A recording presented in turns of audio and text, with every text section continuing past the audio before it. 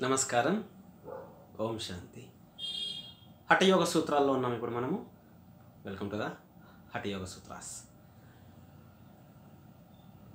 Hathayoga అంటే ఏంటి? Introduction వీడియోలో చెప్పున్నాను కదా. రైట్ ఇప్పుడు మనం సూత్రాల్లోకి వెళ్తున్నాం.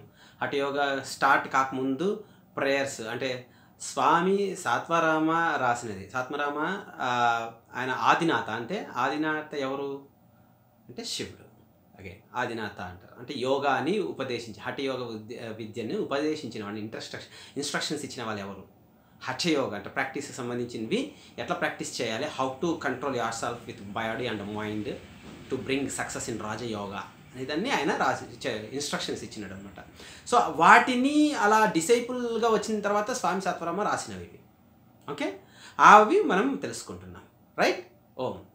ఇప్పుడు ఫస్ట్ సూత్రం.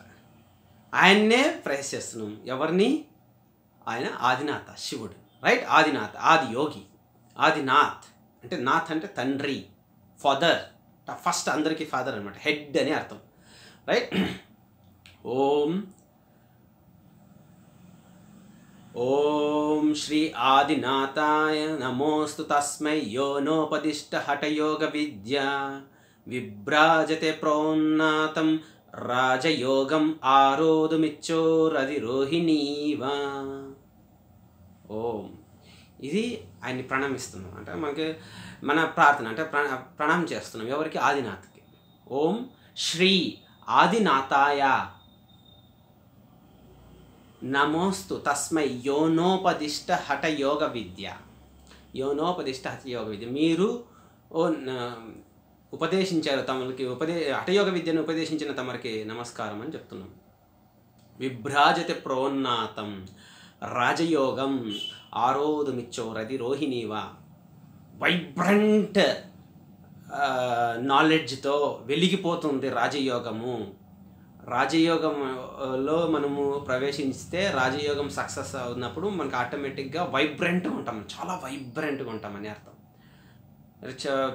అది అంత సులభమైన విద్య కాదు కాబట్టి రాజయోగం ఆ రోజు నిచ్చో రది రోహిణీవ. అంటే రాజయోగంకి హఠయోగ నిచ్చెనలాగా పనిచేస్తుంది అని అర్థం. ఓకే?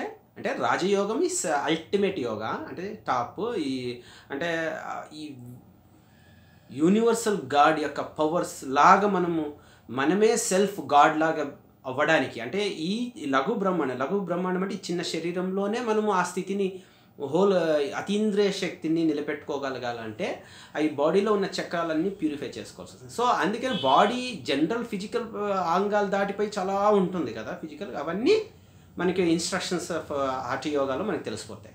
చాలా ఉన్నాయి మనకి. సో ఆ రోజు మిచ్చోరు అది రోహిణీవ. ఆయన ఏమంటున్నారంటే ఇక్కడ ఆ, స్వామి ఇది ఈ రాజయోగానికి రాజయోగం అనేది ఒక రేడియంట్ లాంటిది రేడియంట్ సో ఆ రాజయోగంకి సక్సెస్ఫుల్ అవ్వాలి అంటే నిచ్చెనలాగా పనిచేసేదే ఈ హఠయోగ. మీరు ఉపదేశించారు కాబట్టి థ్యాంక్ యూ వెరీ మచ్ అంటే రాజయోగం అంతా ఆయన ఇప్పుడు మెడిటేషన్ రాజయోగం అంటే ఏంటి? సింపుల్ మెడిటేషన్ ద్వారా అన్నీ సుగమం అవుతాయి సక్సెస్ అవుతుంది మెడిటేషన్ అంత సులభంగా చేయలేం సాధించుకోవడం కష్టం కాబట్టి అంత బాడీ మైండ్ని కంట్రోల్ చేయడం కష్టం కాబట్టి హఠయోగ ఏం చేస్తుందంటే మైండ్ని కంట్రోల్ చేయడం అంత సులభం కాదు కాబట్టి ఫస్ట్ బాడీని కంట్రోల్ చేసుకో. ఆటోమేటిక్ మైండ్ శాంత అవుతుంది. బాడీ ధర్మాలు బట్టే మైండ్ కూడా వెళ్తూ ఉంటుంది. సో అలాగనమాట. రైట్?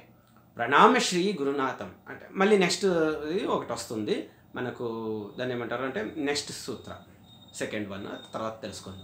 ఇప్పుడు ఫస్ట్ ఏంటి మనకి? ఓం. శ్రీ ఆదినాథాయ నమోస్తు తస్మై యోనోపదిష్ట హఠయోగ విద్య. విభ్రాజతే ప్రోన్నాతం రాజయోగం ఆరోధమిచ్చోర్రది రోహిణీవ. ఓకే?